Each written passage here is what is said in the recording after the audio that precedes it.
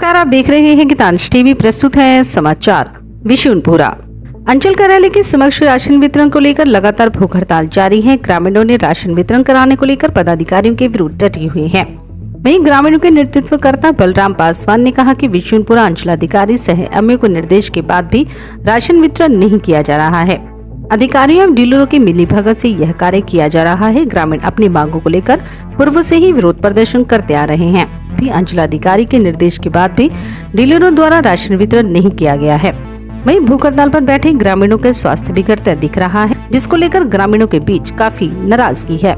इस मौके पर बीस सूत्रीय अध्यक्ष शैलेंद्र प्रताप देव एनुल अंसारी बीडीसी भरतुल चंद्रवंशी महेंद्र गुप्ता, सचिन गुप्ता, संतोष गुप्ता, मनोज पाल, रामदुलार यादव, पृथ्वी पाल, शत्रुघ्न पासवान, मुरारी पासवान, जरीसा विकास गुप्ता, अजय पासवान, सुशील गुप्ता बसंत गुप्ता अशोक यादव विपिन चंद्रवंशी राहुल पासवान सहित अन्य ग्रामीण भी उपस्थित थे। हम्म, जैसा कि अंचल कार्यालय के समक्ष आप लगभग चौबीस घंटे बीत गए और आप भूख हड़ताल पे बैठे हैं।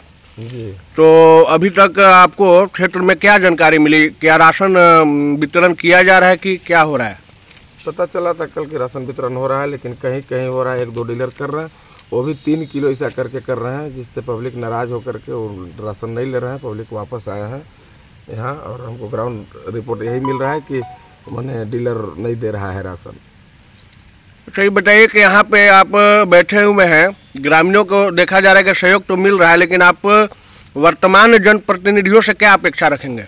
अभी तक तो कोई नहीं आए हैं हमको चौबीस घंटा लमसम हो गया लेकिन कुछ वार्ड सदस्य लोग आए हैं बेचारे।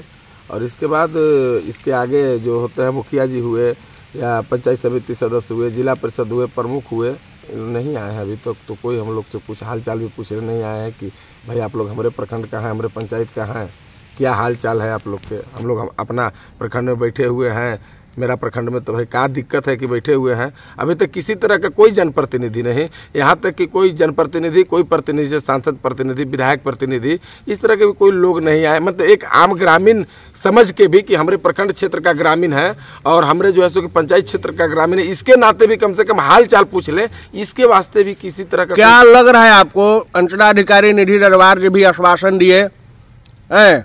उसके बाद राशन वितरण नहीं किया जा रहा है डीलरों के द्वारा और वर्तमान जनप्रतिनिधि भी इस भूख हड़ताल में, जैसे कि आपने बोला कि शामिल नहीं हुए, नहीं आए तब क्या लग रहा है? तीनों का कॉम्बिनेशन आपको क्या पता चल रहा है? शामिल होने की बात मैं नहीं कह रहा हूँ। हम ये कह रहे हैं कि एक जनप्रतिनिधि होने के नाते उनका प्रखंड क्षेत्र में, उनका पंचायत क्षेत्र में अगर कोई आदमी भूखे प्यासे बैठा हुआ है तो एक जनप्रतिनिधि होने के नाते उनको थोड़ा सा जायजा लेना चाहिए था हाल चाल पूछना चाहिए था। लेकिन कोई पूछे नहीं, और ये सब तो मान लीजिए सारा चीज़ मिली भगत से काम हो ही रहा है, चाहे वो प्रखंड आपूर्ति पदाधिकारी हो, चाहे वो जनप्रतिनिधि हो, चाहे जो है सो कि आपका ई डीलर हो।